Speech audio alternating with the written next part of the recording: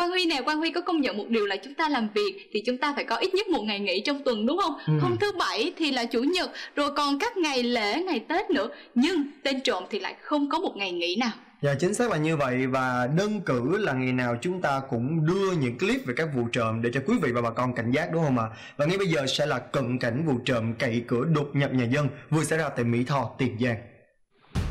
Căn chủ nhà đi vắng, hai đối tượng mà quý vị đang thấy trên màn hình đã đột nhập trộm tài sản. Chúng đi xe Sirius tới nhà dân ở Mỹ Tho, Tiền Giang. Một tên quay đầu xe sẵn, sau đó cùng đồng bọn lây hoay, phá khóa ngoài và cả hai tên đã đột nhập vào lục lọi tìm tài sản có giá trị như thiết bị điện tử và nhiều tài sản có giá trị khác, sau đó tẩu thoát.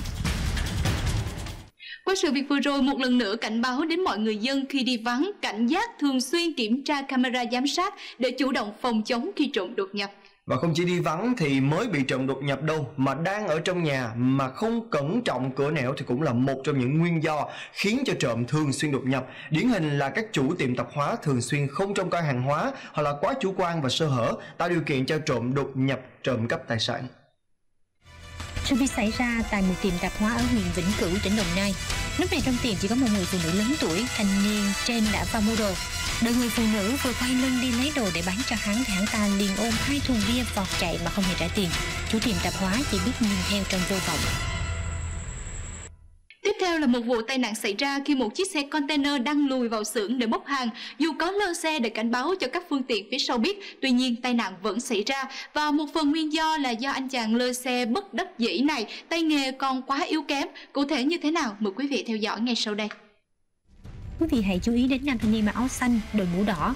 Anh ta là công nhân trong nhà xưởng, thấy bác tài container lùi xe vào xưởng bốc dỡ hàng hóa, thì anh chàng này nhiệt tình chạy ra và trở thành lơ xe mất đáng dĩ. Tuy nhiên sự nhiệt tình cộng với sự thiếu hiểu biết đã dẫn đến tai nạn không đáng có.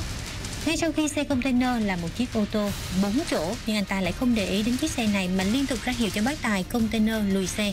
Hậu quả là xe container trong lúc lùi vào xưởng đã xảy ra va chạm với ô tô con. Thì lúc này tài xế mới phát hiện cũng lúc này, anh chàng nơi xe bất đắc dĩ chạy đến thì đã quá muộn. Sự việc được ghi lại vào chiều ngày 26 tháng 3 trên đường DT 725, đoạn qua thị trấn Lộc Thắng, huyện Bảo Lâm, tỉnh Lâm Đồng.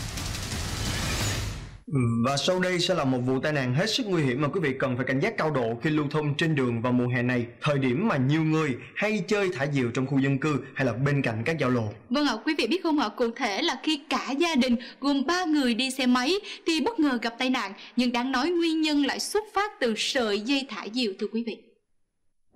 Camera trước một nhà dân quay lại cảnh tượng Cả gia đình ba người điều khiển xe máy Bất ngờ té ngã xuống đường Phía sau là một con diều cũng bị kéo theo rơi xuống. Những hình ảnh sau đó cho thấy Đứa bé bị xây sát ở vùng trán. Đáng chú ý, Người đàn ông bị cứa một vết đỏ khá dài ở cổ, Nghi do bị dây diều cứa ngang. Vụ việc xảy ra tại Thái Nguyên.